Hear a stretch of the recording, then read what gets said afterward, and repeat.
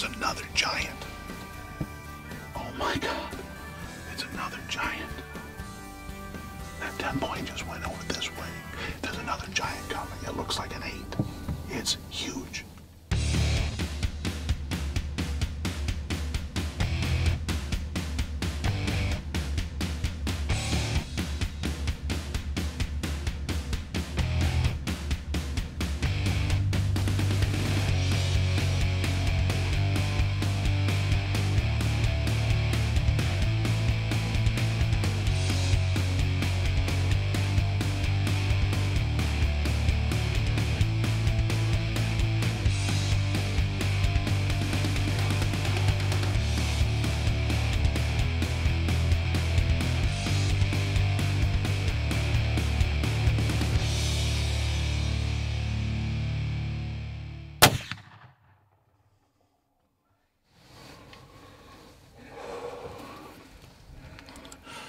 I need a minute to collect myself here. I just saw two giants in two minutes. I just saw two giants in two minutes. This is a CVA. This is late season. This is Iowa. Um, that's I, I guarantee I haven't gone to look yet. That'll be the greatest eight point I've ever killed. It's a 150 inch eight point, I think, all day. There's an absolute slam dunk Boone and Crockett 10, but I, I saw this deer coming. I couldn't say no to that.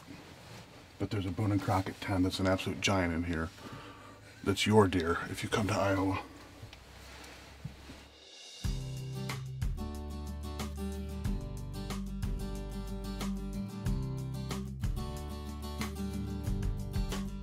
Day two of our late season hunt here in Iowa with muzzleloaders. Saw a tremendous amount of action on this ridge line yesterday. 50, 60 deer, just a ton moving through here. So we moved the shadow hunter as you saw. Got ourselves into place, got in here early, about 11.30.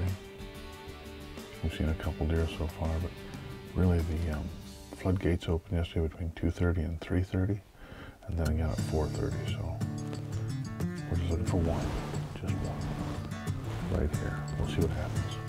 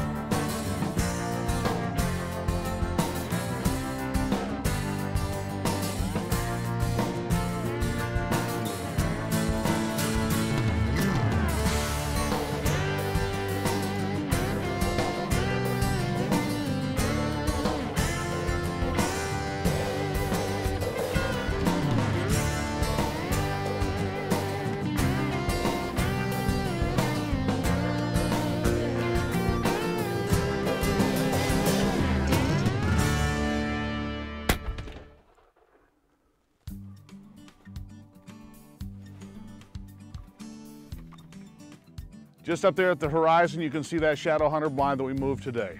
What's important about that, this is four years in a row, four years in a row, here in Iowa late season, that we've moved a shadow hunter, same day, within five or six hours, about five or six hours, we kill a big trophy wall hanging buck because this is a trophy wall hanging buck. I got to look at this deer a little bit more. but We're talking about, that might be close to 12. That's 10. This beam, the way they wrap around, Those beams are 25. And it's the mass on this guy. Couldn't be happier. Shadow hunter blinds. People say, well, don't they scare the deer? Apparently not. It's four years in a row. Move the blind the same day. Rock on. You